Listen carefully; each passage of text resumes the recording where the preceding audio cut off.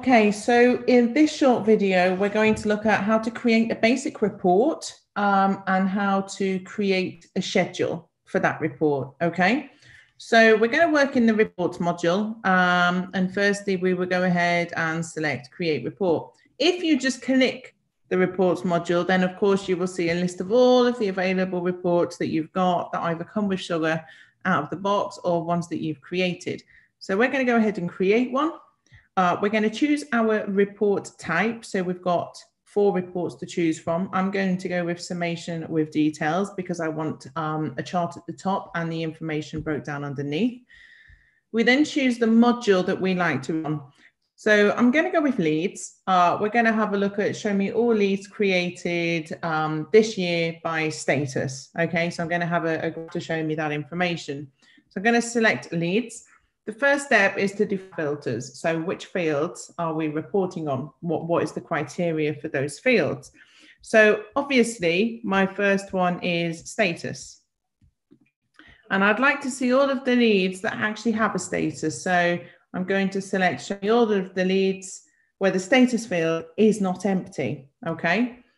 Um, my next filter I'm going to create is uh, the date that they were created.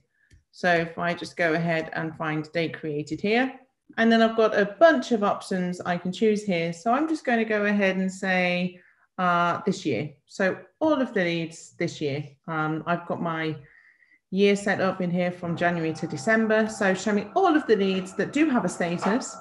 Show me all of the leads that is created this year. So I'm going to go ahead and hit next. The next step is to show me group by. So how do I want them grouped? Okay, so I want them grouped by the month that they were created. Okay, so you've got day, um, but I'd like to see them in the month. Okay, so I'm going to go month, date created. Um, that's all I'm happy with.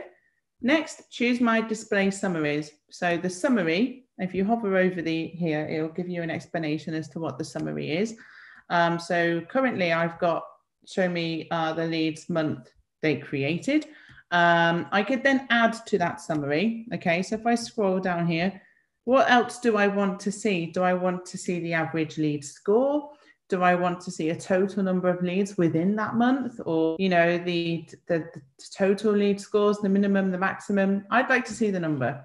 So within the months, I want to see the total number of leads that match my criteria.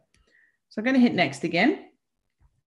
And then it's going to ask me, great, underneath the chart, what are your display columns? So what is it you'd like to see in a row by row um, about that lead?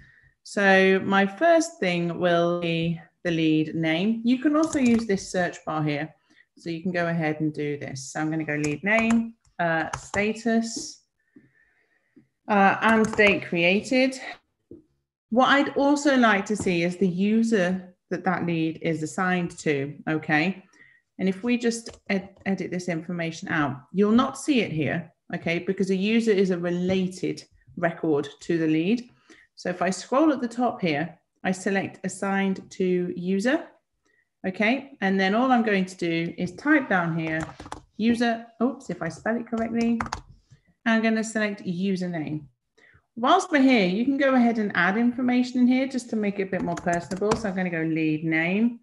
Uh, I might want to put lead status. And then instead of username, I might want to put something like um, sales rep. Okay, so I'm just renaming what these labels actually are.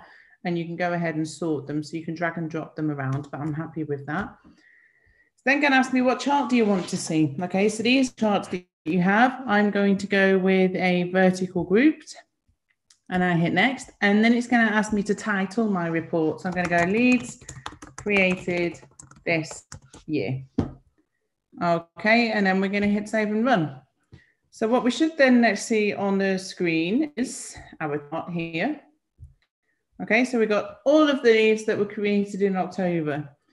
Just a heads up here, this demo instance that I'm looking at, was created in October. So all of the leads here are going to show that they're created in October. Um, obviously, as you move along time, then you will get additional uh, months here with the total number of leads. So underneath here, we can see all of the leads that were created. We have their name, the status, the date it was created, and the sales representative that it is assigned to. Okay, so my report is exactly what I was looking for. Now, let's say that you would like this report on a schedule to be emailed to you once a week or once a month, or to be emailed to you and other users. Then we're going to go ahead and create a schedule. So we do this using the activities button here, and we have create schedule. This is then going to ask us a title for our report schedule. So I'm just going to call this leads this year report. Okay.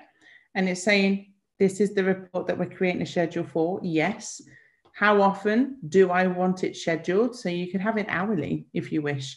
You know, if you've got a report based on cases, how many cases are we getting an hour? Um, what are the priority of the cases? You might want that type of report hourly. I'm going to go ahead and select weekly here. When do I want this report to start? We'll start it from Monday. And I'm happy for it to arrive in my inbox at half past nine every Monday. Okay.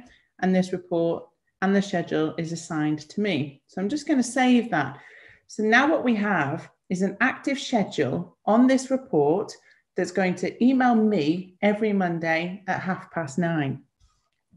I'd also like it to email other users. So I'm just going to go up here and I'm going to hit report schedules. Okay, so to access the report schedules, you do this via the report module. So we have a look. So what we can see here is we have one schedule throughout all of the reports on the system. There's one that's got a schedule, which is the leads created. Underneath, you will see all of the users that are in that schedule. If you want to go ahead and add users, then you hit link existing record. And now we're going to go ahead and select multiple users and add them to that schedule. All of these users in this schedule we'll now get this report every Monday at half past nine. That's how you create your report schedules and that's how you create a basic report. If, for example, you want to remove a, a, user from a schedule, then just come back to the report schedule. You have to do it this way and then just unlink.